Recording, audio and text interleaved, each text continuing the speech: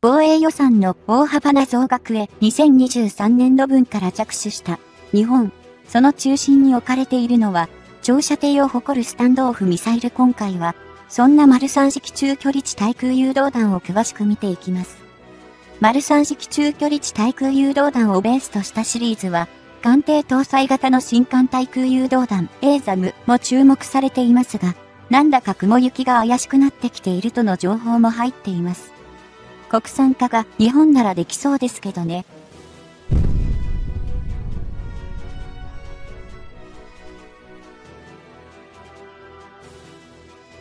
昨今の日本は、昨年度の2023年度分から、防衛予算案の大幅な増額施策が打ち出され、政権を運営する現在の岸田内閣は、2024年に入って久し、支持率の低下は指摘されつつも、大枠の防衛政策については、国民の支持を失ってはいないと感じられる。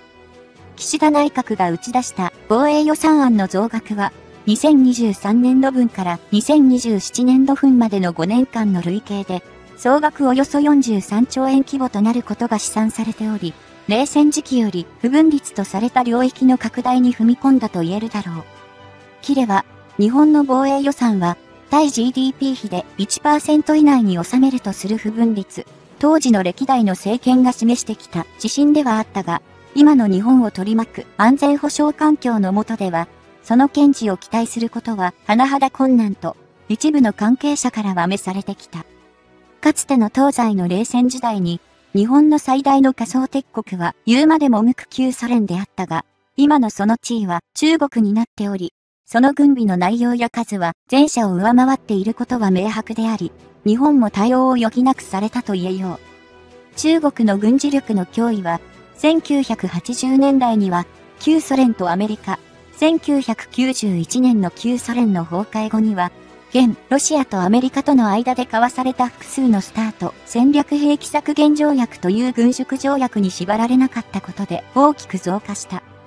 そのタイミングで、旧ソ連、現ロシアとアメリカとが中距離打撃兵器の開発を制限する中、これに縛られなかった中国は、準中距離弾道ミサイルで、かつ、対艦弾道ミサイルである、ディフェンダー -21 等のミサイルの配備を1991年から進め、同ミサイルはすっぽりと、日本全土を射程距離内に収めている。その後も、中長距離打撃兵器である、複数のミサイルの配備を加速させる中国に対して、日本は、ここに来て、ようやく敵の防空兵器の射程距離外から攻撃が可能なミサイルをスタンドオフミサイルと位置づけたようを進めている。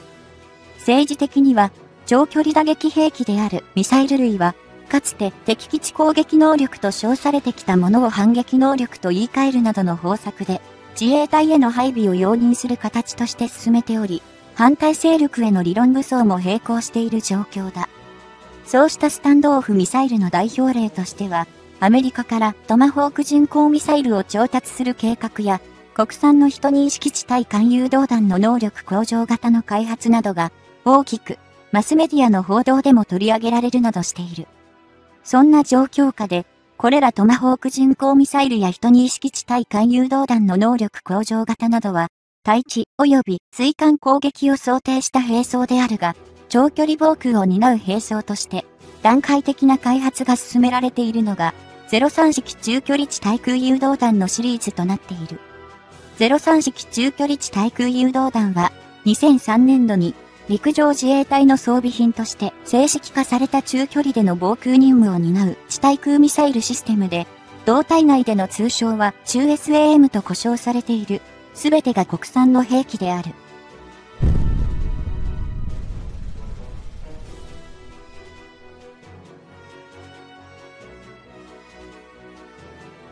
この03式中距離地対空誘導弾は、三菱電機社がシステム構成の取りまとめを担い、ミサイル本体は三菱重工業者、レーダー類は東芝社が製造を行っており、陸上自衛隊の編成の1個分用のコストは、一式でおよそ470億円とされている。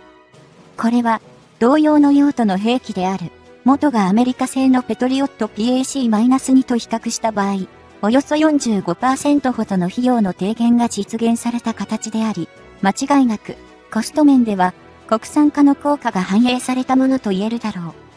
03式中距離地対空誘導弾は、ミサイル本体を6発で1組としたキャニスターに収容し、これを搭載する装輪式の車両の荷台から垂直に発射する形式が採用されており、運用に必要なスペースの確保も、従来品より自由度を増加させている。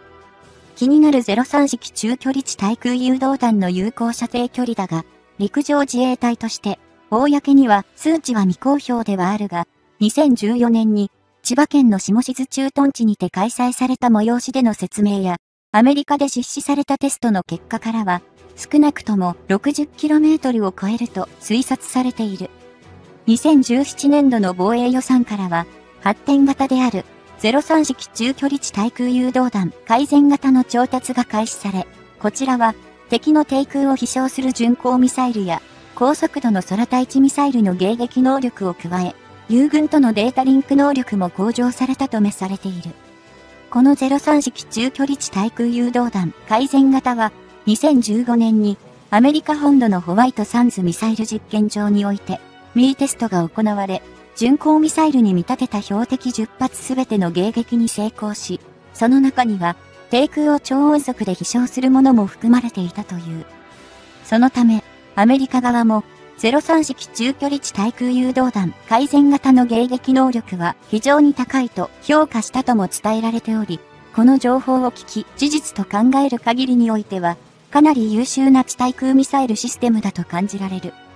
現状では、03式中距離地対空誘導弾をベースとしたシリーズの発展型は、1、2023年に開発完了予定の新艦対空誘導弾、2、2026年に開発が完了予定の03式中 SAM 改め能力向上早期研究開発分。3 2028年に開発が完了予定の03式中 SAM 改め能力向上新規研究開発分。4 2031年に開発が完了予定の新艦対空誘導弾能力向上型がある。この中で2の2026年に開発が完了予定の03式中 SAM 改め能力向上、早期研究開発分と3の2028年に、開発が完了予定の03式中 SAM 改め能力向上、新規研究開発分は、従来の地対空ミサイルシステムの性能を向上させた発展型である。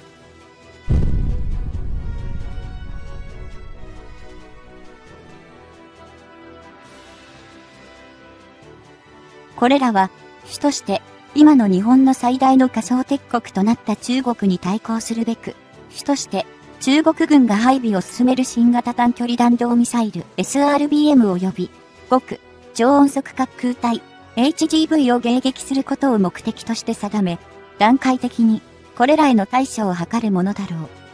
費用の上で、歯は、これらには2023年度分の防衛予算の中ではおよそ758億円が計上されており、これは、元々の事前の事業評価の段階では、およそ598億円が見込まれていたこともあり、かなり大きな投資を行おうとしていることが感じられる。ついで、残りの1の2023年に、開発完了予定の新艦対空誘導弾と、4の2031年に、開発が完了予定の新艦対空誘導弾能力向上型についてであるが、こちらは、ベースである03式中距離地対空誘導弾を海上自衛隊の艦艇に搭載する形式に応用するものとなる。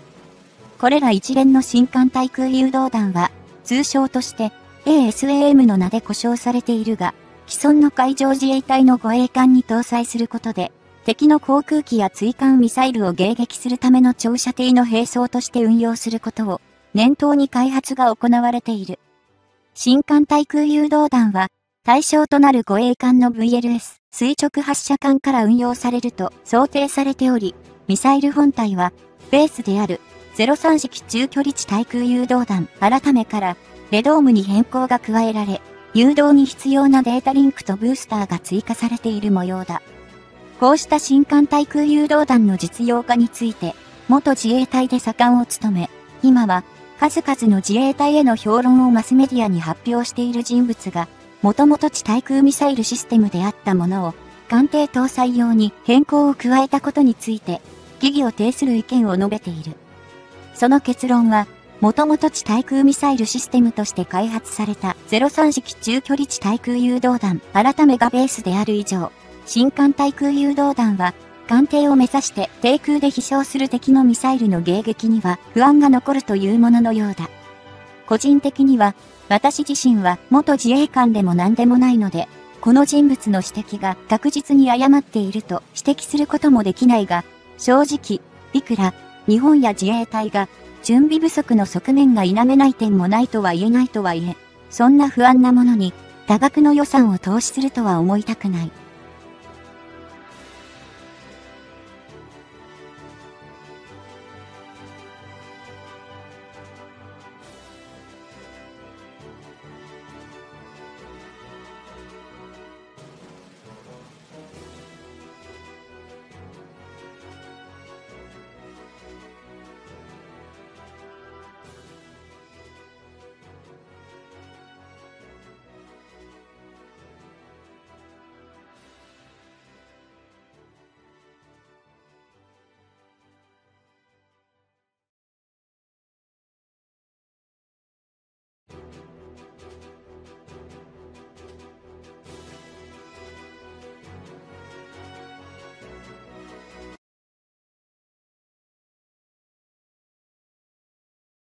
海上自衛隊には、対潜水艦船に B3C を導入し運用していますが、導入当初の海上自衛隊内の演習では、B3C ショックと呼称されるほどの高性能を見せつけた名機なんです。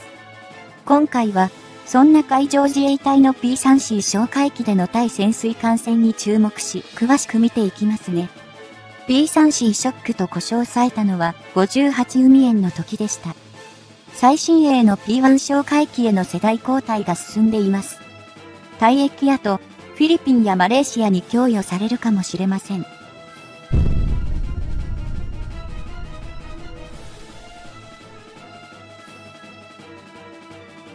地理的に国の周囲を広い領海と排他的経済水域に囲まれた環境下にある我が国、日本では、それらの海の確実な監視の実施を安全保障上の大きなポイントとしており、その中核を担うものとして哨戒機を運用している。航空自衛隊が保有、運用する哨戒機は、昨年2023年度末の時点で、一つ、前の P3C が35機、最新の P1 が34機と機体数は拮抗しているが、今後は後者の配備が進むのと並行して、前者は退役が加速する状態ではある。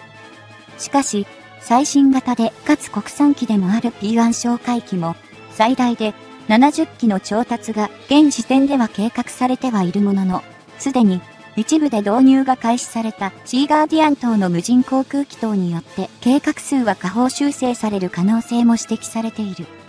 そうした状況下にある日本の航空自衛隊の哨戒機ではあるが、今回は日本での初導入の1983年から、すでに今年2024年で43年目に突入しながら羊田第一線で防衛を担う P3C について振り返ってみたい。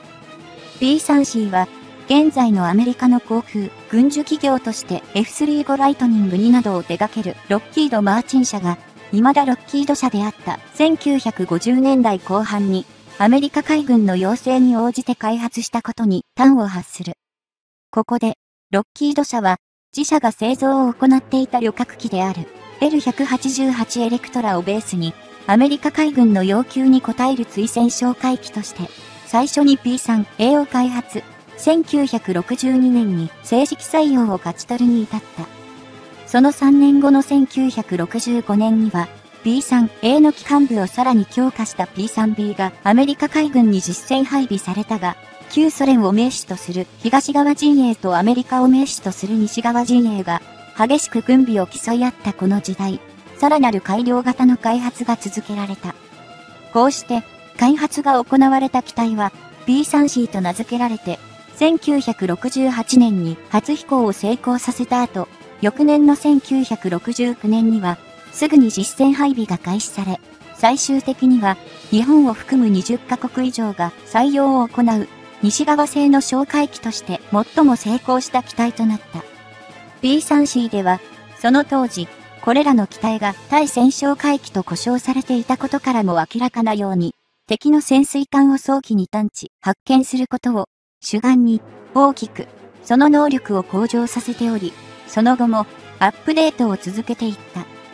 具体的に P3C は機体から海面に投下するその部位の能力強化、体に搭載する各種のレーダーやセンサー、そこで収集された情報の処理能力の強化、それに加え地上に設置された有軍設備とのデータ連携が可能となった。これにより P3C は単体、短期では当然成し得ない敵潜水艦の探知、発見を実行することが可能となり、自らが搭載可能な追戦兵装の運用能力もより精度を増すことを実現。多くの西側諸国の中で対戦勝海戦力の中核の地位を築いた。B3C は乗員が11名、全長が35.6メートル、全高が10.3メートル、翼幅が30.4メートルの機体を持ち、基本離陸重量が5万 6000kg、最大離陸重量が6万 3390kg で、4機のターボプロップエンジンで、巡航速度が 607.5km で、航続距離が 6751km に達する。前述したように、B3 シリーズは、旅客機の L188 エレクトラをベースとしていたため、機体内の居住性に優れ、搭乗員の負荷を減らせた上、日清月歩で進化する追戦紹介用の設備を追加可能な拡張性にも対応ができた。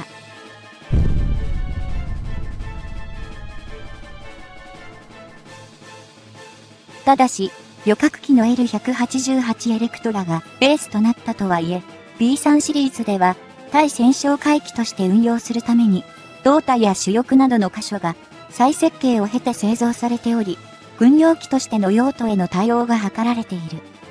具体的には、胴体については、機体の後端部分に、対戦勝海用の MAD 磁気探知装置を運用するための変更が行われたほか、先端の機種もオリジナルよりも少し短く修正されており、任務への最適化が行われたことが見て取れる。主力の設計変更も、対戦勝回帰としての並走を搭載すべく実施されたもので、翼端部に3つ、胴体部に2つのハードポイントが設置され、前者にミサイル類、後者に電子専用の各種機器を取り付ける仕様となっている。こうしたハードポイント以外にも、B3 シリーズには、前方部分の胴体下部にウェポンウェイが設けられており、航空機用魚雷、航空機用爆雷、航空機用機雷も実装することが可能で、紹介任務に止まらず攻撃も担える。B3 シリーズはこれまで見てきたように、アメリカ海軍の要望に応じる形で対戦勝回帰として開発された機体ではあるが、搭載する設備の高度化によって、多様な任務への従事が可能となったことから、海上自衛隊では、故障を哨回機へと変更している。海上自衛隊においては、B3C を1983年3月末に神奈川県の厚木航空基地を拠点とする第4航空軍にまず6機を導入。その霊下に第6航空隊が編成され、対戦勝回帰として部隊運用を開始することとなった。ただし、この海上自衛隊への P3C の導入が当初より円滑に行われたのかといえば、実際にはそうとも言い切れず、アメリカ側としては、自国の最新鋭の対戦勝回帰である、同機を安易に日本に供与することを躊躇した形だった。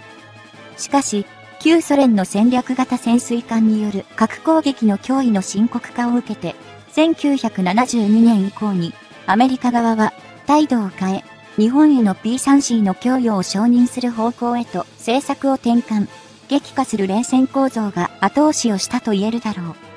そうして紆余曲折を経ながらも、1983年3月末に前述したように、海上自衛隊での運用が開始された P3C だったが、同年に行われた同体の58海園において、かつてアメリカが日本への同期の供与を躊躇した理由が証明された。この時の58海園において投入された配備から間もない P3C は、当時の海上自衛隊が運用していた潜水艦のことごとくを探知、発見し、撃破の判定を下す結果を実現、まざまざと、その実力を見せつけ、それは B3C ショックと形容され、今に伝えられている。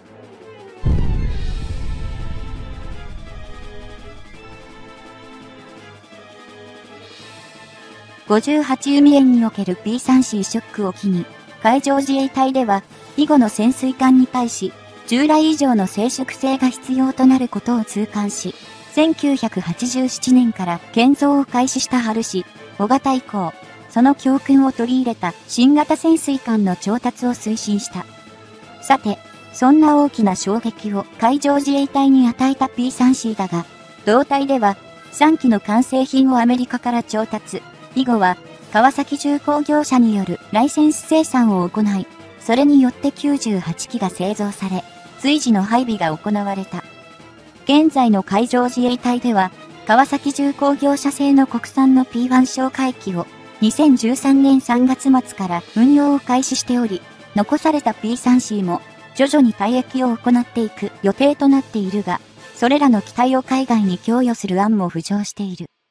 ただし、2024年現在、この海上自衛隊を退役する P3C の海外への供与は実現はしておらず、かなり有望な候補と考えられていた中にフィリピンがあったが、運用も容易でメンテナンスコストも低いゲンホーカービーチクラフト社の TC90 がその座を射止めた。また、マレーシアも B3C の海外供与先として検討が行われていると伝えられているが、こちらも確定はしていないもののフィリピン同様に、南シナ海における中国軍の脅威の増大を受け、可能性を残している状態だ。海上自衛隊における P3C は、最盛期には100機近くを運用していた計算となるが、同時期の本国のアメリカでもおよそ200機ほどの運用数だったことを鑑みれば、いかに日本がこの分野に注力していたのかが忍ばれる。今の日本の最大の仮想鉄国は、かつての旧ソ連、現ロシアから中国へと移り変わってはいるが、B3C 等の哨戒機の任務の重要性は変わることなく、むしろ、その比重を上げていると個人的には思えている。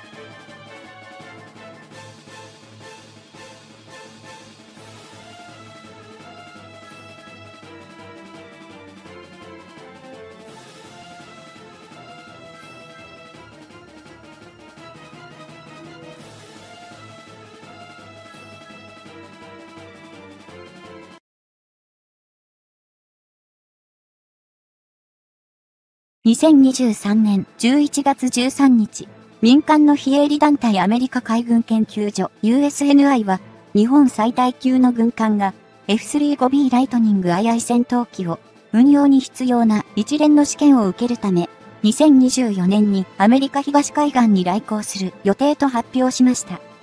今回は、護衛艦加賀の F35B 戦闘機認証試験について見ていきます。加賀は、改造後、初めての長期公開に出ます。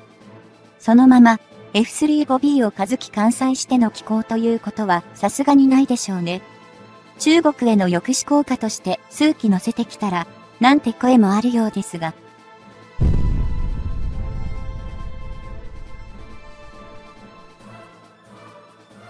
USNI が言うところの日本最大級の軍艦というのは、世界に誇る海自のいずも型護衛艦のことです。海上自衛官と航空自衛官で構成された日本側の視察団は、2023年10月末に、アメリカ東海岸、大西洋沖を巡航するイギリスの航空母艦プリンス・オブ・ウェールズに乗船し、F35B 戦闘機の運用試験を視察しているそうです。USNI の分析では、プリンス・オブ・ウェールズが試験をしている同海域で、空母化改修後の出雲、片護衛艦が F35B 運用に関する各種試験を実施するのではということです。日本政府と防衛省は、2013年以降、海地が保有の出雲、片護衛艦2隻への空母化を着々と進めていたと同時に、垂直離着陸可能な F35B 戦闘機の導入も計画していました。F35B 戦闘機については現時点で42機ほどの導入を予定しているとか、それらを運用する飛行隊を航空自衛隊に新たに作り、宮崎県新富町の新田原基地に配備すると公表しています。九州に配備するということは、南西諸島空域におけるスクランブル発進に最速で対応するとともに、台湾有事も視野に入れてのことと考えられます。イギリス海軍の空母のプリンス・オブ・ウェールズは、前述の通り、アメリカ東海岸での各種テストで、無人航空機による試験や、アメリカ海兵隊との合同訓練も実施しているので、同様のテストをいずも型護衛艦でも実施する可能性も推測されます。姉妹艦のクイーン・エリザベスと並んで、イギリス海軍史上最大の軍艦になる予定のプリンス・オブ・ウェールズは、36機の F35B 戦闘機と12機のヘリコプターの搭載能力を持つ空母です。この船体は、ポーツマス、ロサイス、バロー・イン・ファーネス、クライドなど4つの地域で、BAE システムズと VT グループが建造を担っています。最終組み立ては、スコットランドのロサイス造船所の1号艦ドックで行うそうです。ここでは、クイーン・エリザベスとプリンス・オブ・ウェールズの改修工事も行われました。プリンス・オブ・ウェールズは、アメリカ東海岸での演習航海ウエストラント22のため、に、イギリスのポーツマスを、2022年8月27日に出港しましたが、出港直後に、右舷推進部の結合部や舵に損傷が発見されました。この発見によって、演習航海は中止となりました。その結果、皇太子プリンス・オブ・ウェールズに代わって、女王クイーン・エリザベスが9月8日に出港することになったのです。もちろん、ウエストラント22で予定されていたプリンス・オブ・ウェールズの F35B の運用能力認定も延期することになりました。この損傷について、英国放送協会 BBC は、アメリカへの演習に出発した直後に故障、足を引きずりながら岸に戻ってきたとからかいましたが、シャレになりませんね。プリンス・オブ・ウェールズは、ロサイス造船所に入渠して修理を受けましたが、クイーン・エリザベスの部品取りにされているという悪質なデマが飛んだこともあり、国防大臣が、これは一時的な応急処置であると釈明する事態になってしまいました。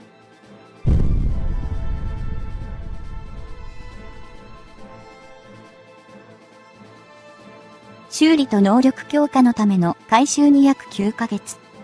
プリンス・オブ・ウェールズは2023年7月21日にドックを出て、7月28日には CH47 ヘリコプターが飛行甲板に着艦する画像を SNS に投稿していました。10日後の7月31日、映画トップガンマーヴェリックに登場するセリフをパロディ化したような文章を投稿、飛行甲板の運用再開をアピールしたのです。一方、軽空母への改修が完了した海地護衛艦下川2023年11月17日に呉基地へ帰還しました。長期間の改修を経て、本来の基地に戻ったことになるわけです。偶然なのか、旧日本海軍の空母加賀の浸水日も11月17日だったので、運命的なものを感じるという声が上がったとか。派遣艦は空母化改装を進めたばかりの加賀になるのではと噂されているようですが、アメリカ海兵隊やイギリス海軍の F35B を使用して、空母としての機能をチェックする目的ではないかとも見られています。出雲旧の空母化ですが、発着艦機能整備に加え、艦隊内の本格的な改装もまだ構想段階です。既存の F35 キャリアを参考に課題の棚卸し後、2万6000トンサイズに合った空母化改装をすると思われることから、空母としての機能を完全に備えるまでに時間がかかっても仕方ないと考えられるのです。艦艇排水量のうち、満載排水量とは、船そのものの重量だけではなく、燃料や乗員の体重、水や食料などの積載貨物を含めた総合重量になります。強襲揚陸艦の場合、運航関係の乗員だけではなく、上陸作戦要員とその装備も含まれることになります。上陸作戦要員がいる分、空母より広い居住区が必要ですし、装備には戦車やトラックがあるので、車両庫等のスペースも必要ですよね。上陸作戦関係の重量が増えたから、航空機の運用能力が拡大するわけではないのは言うまでもありません。また、加賀の空母化改装が終わっても、関西機である F35B の購入も空地パイロットや整備員の養成もこれから始まるのだと言っても誇張ではありません。こういった過程が終わっても、搭載可能な F35B はわずか10機ですから、戦力では中国海軍やアメリカ海軍の正規空母とは比べ物になりません。最有力と思われる使用方法は、イギリス国海軍空母のように、アメリカ海兵隊の F35B も一緒に派遣してもらい、洋上補給基地として使用することではないかという意見があるようです。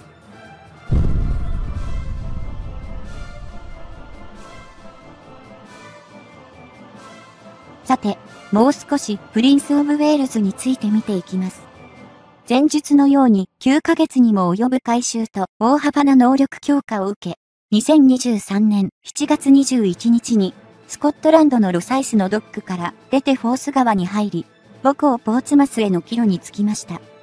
その途中、空母プリンス・オブ・ウェールズの公式 X において、7月29日、飛行甲板が使用再開されましたという投稿が、ヘリコプター CH47 チヌークの着艦写真とともにアップされました。その2日後の7月31日、飛行甲板の再開に関しての投稿が再びありました。前でのトップガンマーベリックに登場するセリフをパロディ化したものと思われる内容です。飛行士の皆さん、おはようございます。こちらはあなたの空母です。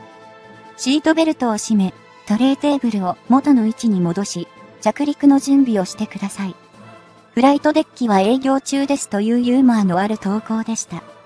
それに対して、あなたがポーツマスに到着するのを楽しみにしています。ぜひ母を連れて行きたいと思っています。一度、ベルファスト湖の穏やかな海を訪れてみてはいかがでしょうか。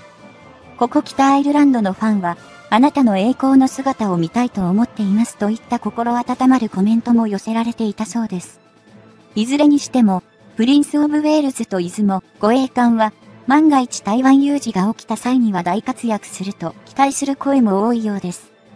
ところで、プリンス・オブ・ウェールズはイギリス海軍の艦艇なので、基本イギリス領海にいるのでは？と思うんです。となると、台湾有事になった場合、イギリス本国から駆けつけるとしたら、かなり時間がかかるのではないかなと心配になってしまうのは筆者の素人考えでしょうか？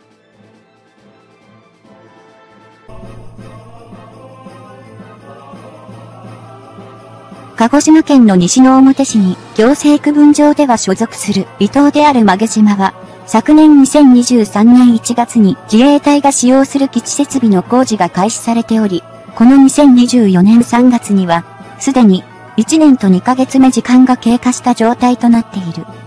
曲島は、地理的には、同じ、鹿児島県下で、日本に、初めて鉄砲が伝来したことでも、著名な谷ヶ島の西の沖合の東シナ海上 12km ほどの場所に位置し、その総面積は8.2平方キロメートルの小島だと言える。この曲島は、現在のように自衛隊が使用する基地設備を置くために、2019年1月に日本政府がおよそ160億円を拠出して買収を行ったが、それ以前は民間のタストンエアポート社という企業が投資目的で所有していた経緯を持つ。その当時の日本政府とこのダストンエアポート社との曲げ島をめぐる買収の交渉は、同社内の内紛や経営状況の悪化などの要因も絡み、二転三転したが、2019年末には、なんとか前日の金額で、交渉がまとまり現在を迎えている。そもそも、曲げ島の日本政府の購入額となったおよそ160億円という金額についても、それ以前に算定された際には、およそ45億円ほどが適正値であるとの報告がなされたこともあり、その金額の乖離に、批判の声もなくはなかった。しかし、日本政府としては、自衛隊が使用する基地を曲げ島に整備することは、非常に重要で、かつ、喫緊の政治課題となっていた側面があり、およそ45億円ほどとされた算定額に上乗せをしてでも早期に買収し工事を行う必要に迫られていた。というのも、曲げ島に自衛隊が使用する基地設備を行うことは、1991年8月以降、在日アメリカ軍の航空母艦艦載機が、東京都下の小笠原諸島の洋島で実施中の陸上空母離着陸訓練 FCLP を、もっと、日本の本土に近い位置に移すことが求められていたためである。陸上空母離着陸訓練 FCLP とは、アメリカ海軍の航空母艦艦載機の運用にあたって必ず必要となる訓練であり、航空母艦自体が整備等の理由で港に入った際に、その艦載機の搭乗者の操縦技量を維持するために必須となっている。アメリカ海軍が保有、運用を行っている大型の原子力航空母艦は、2024年時点でも11隻を数え、その大きさも全長で300メートル、排水量で10万トンを超過する巨漢ではあるが、艦載機の離発着には高度な技量が求められる。これらアメリカ海軍の航空母艦艦載機の搭乗者には、夜間も含めた終日の離発着を確実に履行する技量が欠かせないため、陸上空母離着陸訓練 FCLP は、航空母艦が入港している際に、陸上の滑走路を、その代替として離発着を反復して行うものである。具体的に2024年時点で言えば、神奈川県の横須賀を母港とするミニッツ級原子力航空母艦の9番艦ロナルド・レーガンが同行に入港した際に陸上空母離着陸訓練 FCLP を行う必要があり、日本の防衛においてもその実施場所の確保が最優先事項と言えよう。当然のことであるが、日本に配備されるアメリカ海軍の航空母艦そのものは時代とともに変化するが、神奈川県の横須賀を母港とすることは変わらず、その入港時には、関西機は、地理的に近い神奈川県の厚木基地を中機場として使用していた。そして、その厚木基地から2001年まで、陸上空母離着陸訓練 FCLP は、青森県の三沢基地及び山口県の岩国基地に出向いて実施され、並行して、1982年からは、厚木基地、翌1983年からは、東京都の横田基地でも実施されるようになっていた。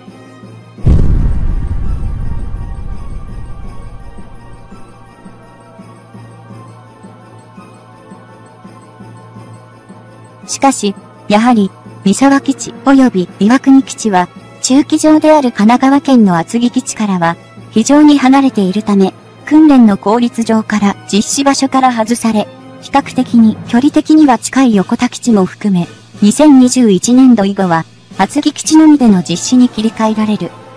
ちょうど、この時期、アメリカ海軍の航空母艦艦載機の主力戦闘機は、可変翼や映画トップガンでもよく知られる F14 トムキャットから F、A18 ホーネットへと移行されたが、この変更も陸上空母離着陸訓練 FCLP に大きな影響をもたらした。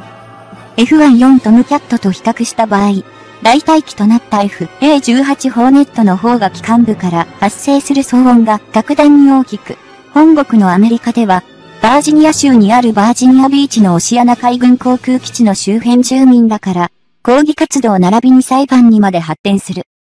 事態を重く見たアメリカ海軍側は、オシアナ海軍航空基地において、F、A18 ホーネットを用いた陸上空母離着陸訓練 FCLP を実施することを断念し、代替する訓練場所を設けることで、その騒音問題を鎮めることを余儀なくされた。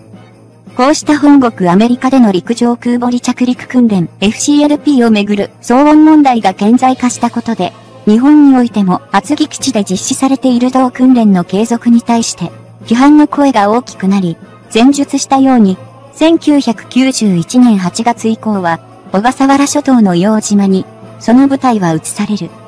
ただし、厚木基地から洋島までは、直線距離で、およそ 1000km もの距離があるため、アメリカ海軍側としては、陸上空母離着陸訓練 FCLP を実施する際に、対象搭乗者の負担の増加や、時間、燃料等の負担の増加を強いられることとなった。こうした状況から、日米の両政府は、日本における陸上空母離着陸訓練 FCLP の実施場所についての協議を重ね、2003年には広島県下の瀬戸内海に浮かぶ無人島、大黒上島に滑走路を整備し、その代替地とする案が浮上する。しかし、この大黒上島の代替地案も、地元住民をはじめとする猛烈な反対に遭遇し、同等を管轄し、その計画を打ち出した沖見町町長が辞任に追い込まれる事態に発展。日本における陸上空母離着陸訓練 FCLP の実施場所の変更には至らなかった。こうした状況と並行しつつ、在日アメリカ軍の中では、部隊の再編が進められることとなり、横須賀基地に航空母艦が入港した際の艦載機の中期場所は、広島県の岩国基地とすることが決定。2017年8月以後、段階的に、その移管が行われた。この体制が完了した翌2018年3月以後は、横須賀基地に航空母艦が入港した際には、その艦載機は、岩国基地へ中期することとなり、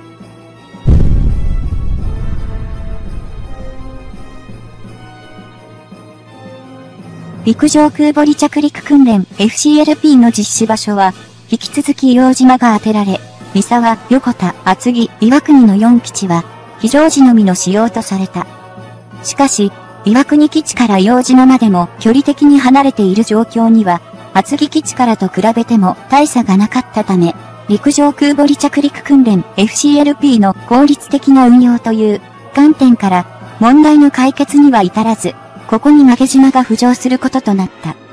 岩国基地から曲げ島までの距離はおよそ 400km ほどと、硫黄島までと比較した場合3分の1以下となるため、アメリカ海軍が抱えていた陸上空母離着陸訓練 FCLP の人的、時間的、距離的な問題をすべて低減させることは明白だった。そのため、一部から根強い反対活動はあったものの、前述したように、なんとか日本政府が、曲げ島の買収交渉をまとめ上げ、旧所有者のダストンエアポート社の関係者を除けば、事実上の無人島であった同等の活用は合理的な選択だと思える。日本の防衛省は、2023年度の補正予算内に、曲げ島の整備に2684億円の経費を計上。陸上空母離着陸訓練 FCLP の代替地及び自衛隊が使用する基地の建設を本格化させ、必要な設備の整備に注力を行っている。